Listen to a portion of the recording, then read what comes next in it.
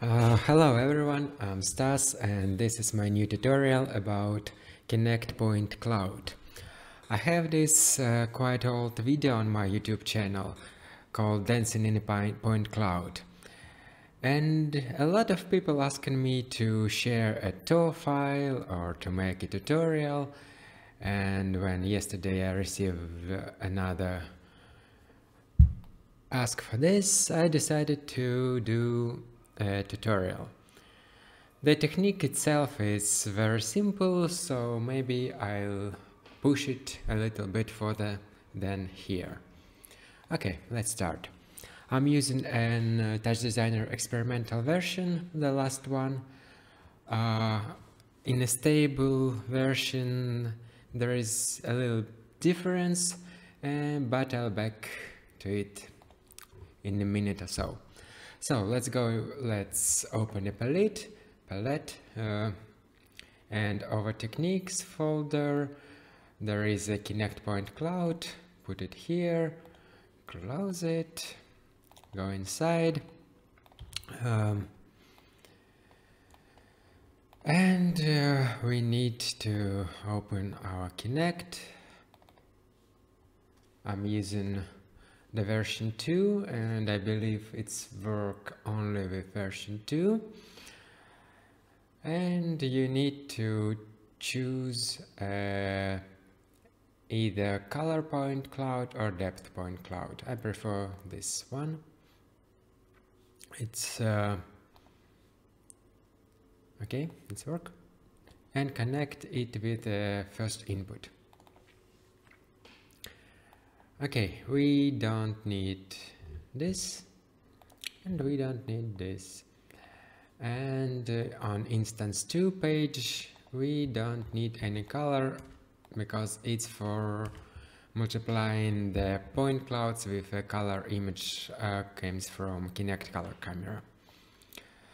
So here in experimental version it uses the top instances and the line new line material. Um, here on the point uh, full, uh, point page you can choose uh, point near color something like orange and point far color something I don't know yeah like this and here we can uh, define what is near and what is far. And probably far it's in my case something like um, I don't know this. And near yeah like this. And now I show you a difference in a, a stable build. Okay here is the latest stable build and again in the palette in the techniques uh, if you use if you choose a Kinect Point Cloud and go inside it's a little bit different because it uses um, it uses uh, GLSL material. Uh, probably it wouldn't work because I have Kinect here as well uh, okay let me turn it off and turn it on here. Yeah now it's working. So if you use a stable version what you're gonna do is uh, turn on Kinect uh, use a constant with the same uh, resolution and put it instead of this Kinect 3 just plug it here and use some color as well. So the main difference in the end you got is that here with a uh, not a new experimental version you will have only one color. Uh, so if you can use experimental and I will use this in uh, later on. Okay, let me close. So we back in experimental, turn on Kinect again. Is it? Uh, oh, okay. Yeah, now it's working. And here I am, here I am. I can adjust the size and the resolution. But I would also like to have some other options here. But first let's just reproduce what I got there on the video.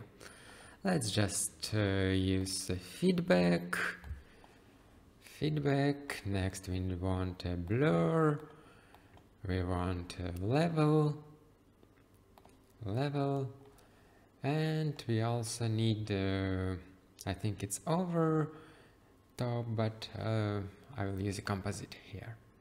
Composite, plug it in, I choose over, I suppose, and uh, move it into feedback top.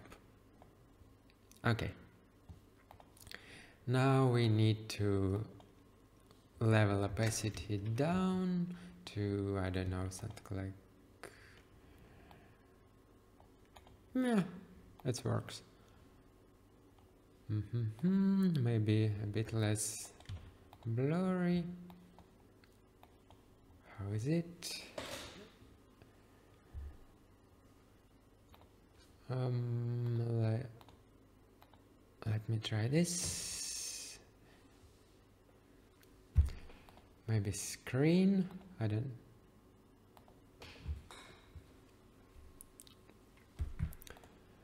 Uh, okay, probably over is better. Oh, okay, I have... Oh, okay. Let's make a viewer active and move camera a bit closer so we have a sharper image. Do we have a sharper image here as well? Not so much. So let's just add a threshold here. Uh, find a good value to separate me from everything else and add another composite. And to make the image more sharp and let's use I don't know add maybe not add maybe well, maximum hmm, okay this is not very good yet but we will wor work something more something more boom boom boom boom boom boom boom boom boom boom boom boom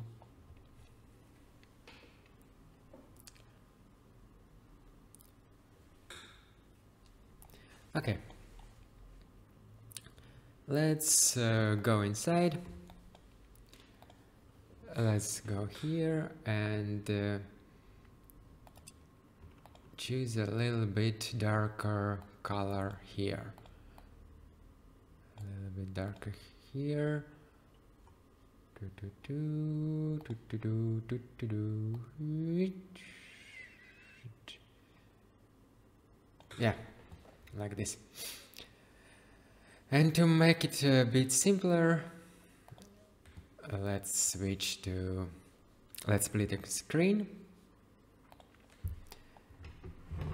And here choose a customized component. And I want to have here as well a distance near and a distance far. So I choose the float and this near add parameter and the maximum would be something like I don't know 5 and let's add uh, distance far as well. At parameter and the range maybe 20 and also I will add a color as well so let's add uh, color color RGBA and color near add parameter and uh, color far add parameter. Okay. Now if we go here we have uh, new parameters press the right mouse button choose copy parameter is uh, distance near and choose paste bind and set it to. So now if I move here it moves on this uh, line mat as well. And let's do the same with distance far copy parameter paste bind do, do, do, do, do. and the same for colors. Let's choose orange let's choose uh, blue. Copy parameters. Paste bind. Copy parameter paste bind if you want you can also copy and paste alpha channel. But I wouldn't do this. And close this screen. So now we have everything we need just here. And let's find better better values. Mm -hmm, mm -hmm, mm -hmm.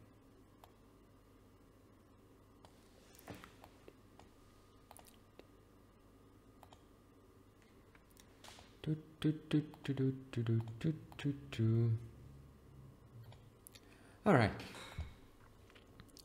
Maybe it's maybe okay where is my far color? I can't see it. So something is wrong something is wrong. Specify. Uh -huh, uh -huh, uh -huh.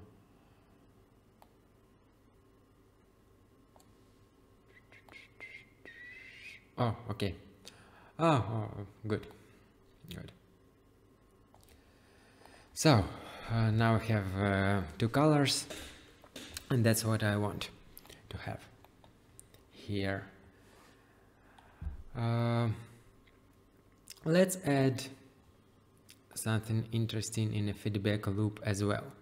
Let's add, for example, HSV adjust and uh, set a hue offset to let's say 2 and let's find uh, now we have a little rainbow effect. Maybe it would be better with I don't know. No? Uh, no it's too much. Uh, reflect. Oh So you can just mm, uh, choose a different parameters and find something that you like. Oh, okay. I like this one. Yeah. This one, good enough for me. Let me see what I have here.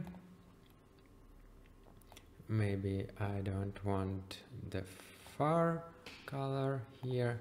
So if I made it a bit darker, a bit darker and a bit bluish, I almost and let's uh, have a red channel only a red channel here. Okay. Do do do do do do do. Mm-hmm. Mm-hmm. Mm-hmm.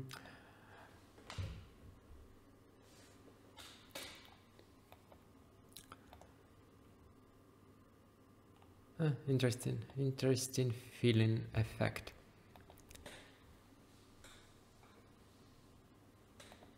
And you can also play with uh, this uh, second composite as well. Maybe use additive color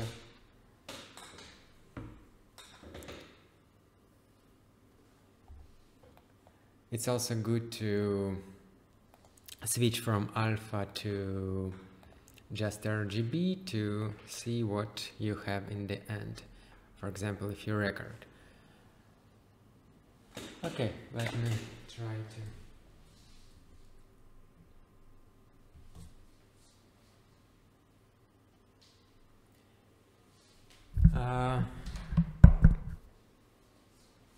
So, as you can see, this uh, very much depends on where I am. So depending on your stage setup, you can move uh, distance and far values a little bit closer or a little bit farther away, maybe change color, but overall I think that's it. It was a very short tutorial with a simple technique, but I hope you find something useful for you as well. Okay, thank you.